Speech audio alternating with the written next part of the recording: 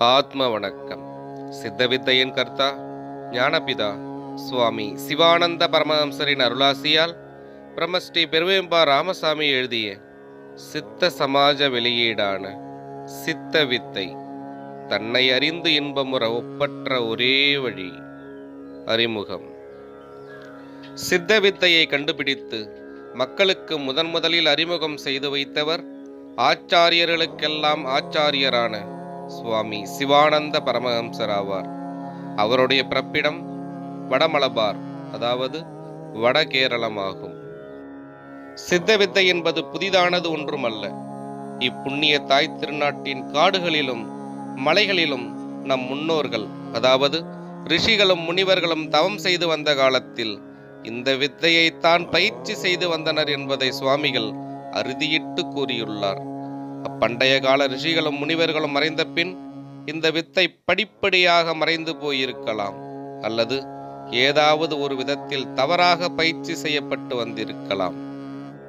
தன்னை உணர்தல் கைவல்லியம் நிர்விகல்ப சமாதி அல்லது மோட்சம் அடைவதற்குரிய மிக சுலபமானதும் தெளிவானதுமான இந்த ஞான வழியை கண்டுபிடித்தவர் புனித ஞானாசிரியர் சித்த சமாஜ நிறுவகர் சுவாமி சிவானந்த பரமஹம்சர் ஆவார் இன்றும் கூட ரிஷிகளும் முனிவர்களும் ஏனைய சாதுக்களும் தவம் செய்து வருகின்ற காடுகள் மலைகள் முதலியவற்றின் வழியாக இந்தியா முழுவதும் கன்னியாகுமரி முதல் ஆப்கானிஸ்தானம் வரை நீண்ட பயணம் செய்திருந்தார்.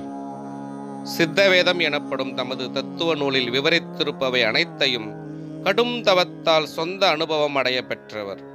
முதுமொழி ஒன்று சொல்லுவது போன்று ஆன்மீக நெறியில் நாம் எந்த அளவிற்கு முன்னேறி செல்கின்றோமோ அந்த அளவிற்கு சுயநலம் இல்லாமல் இருப்போம். தமது வைராக்கிய சாதனையால் பேரின்பத்தை அனுபவித்ததோடல்லாமல் யாம் பெற்ற இன்பம் பெருக இவ்வையகம் என்ற வாக்கிற்கிணங்க உலகத்தோரையும் பயன்பெற செய்து முன்னேற்றுவதற்கு சுவாமிகள் பெரிதும் விரும்பினார். மாபெரும் பிரபுவான தட்சிணாமூர்த்தி நம்முள் குடிகொண்டிருக்கும் இடத்தையும் அவரது திவ்ய தரிசனம் பெறுவதற்குரிய சுலபமான வழியையும் அவர் தமது போதனைகள் மூலம் மக்களுக்கு காண்பித்து வழிகாட்டியுள்ளார். தமது ஞான வழியை கடைபிடிக்க ஆண் பெண் ஜாதி மதம் போன்ற பாகுபாடுகள் யாதொன்றும் தேவையில்லை என்றும் அவர் குறிப்பிட்டுள்ளார். உலகோர்க்கு தமது போதனைகளின் பயன் கிடைக்கும்படி செய்வதற்காக ஆயிரத்தி தொள்ளாயிரத்தி இருபத்தி இரண்டாம் ஆண்டு சித்தவேதம் என்னும் நூலை அவர் இயற்றியுள்ளார். அந்நூலை பிரபஞ்சத்தின் ஐந்தாம் வேதம் எனவும் குறிப்பிட்டுள்ளார். சித்தவித்தை தொடரும் ஆத்ம வணக்கம்